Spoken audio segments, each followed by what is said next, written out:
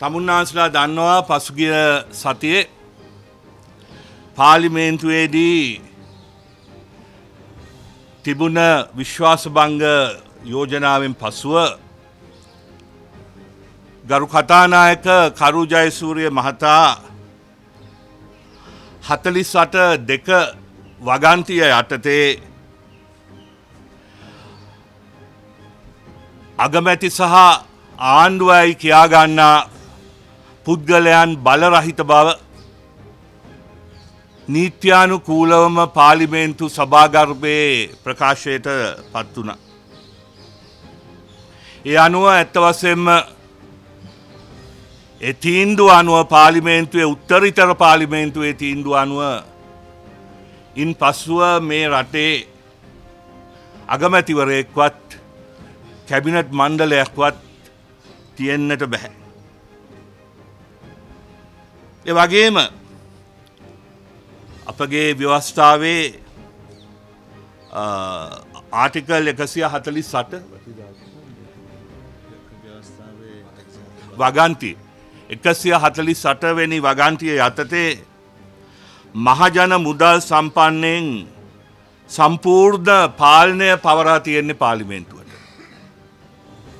As per Article 108.48 of the, of the Constitution, I quote, Parliament shall have full control over public finances. අන්න එහෙමනං කරුණු එසේ තිබියදී අද පාලිමේන්තුවට කිසිසේත්ම පාලිමේන්තුව පිළිනොගන්නා හොර රජයකට හොර ඇමති මණ්ඩලයකට හොර අගමැතිවරයෙකුට මුදල් වෙන්කිරීමේ හැකියාවක් නැත. අද නීත්‍යානුකූල රජයක් මේ රටේ නොතිබීම නිසා ඇත්තවසයෙන්ම මහජන වියදම මහජනතාවගේ වියදම් කරන්නට නීත්‍යානුකූල හැකියාවක් දැහැ.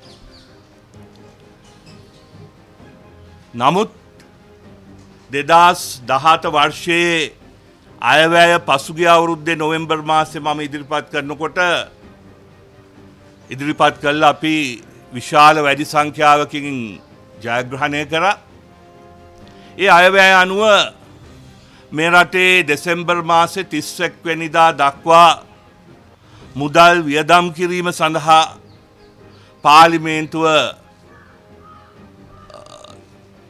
අවසර දීල තියෙන.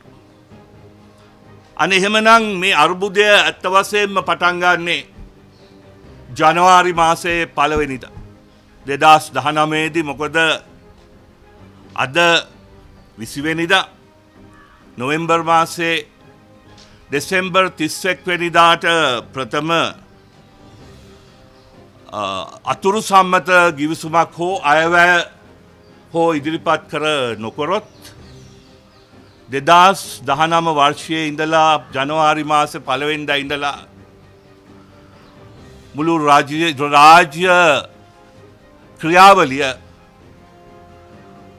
නැවතීමේ තිතකට එනවා.